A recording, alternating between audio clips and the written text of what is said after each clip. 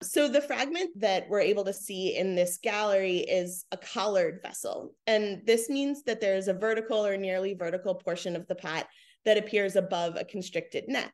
This vessel also has something that we call a castellation or a raised decorative point around its rim. This is something that's really iconic of this time period and of this place, adding these castellations to decorate the rim of the vessel.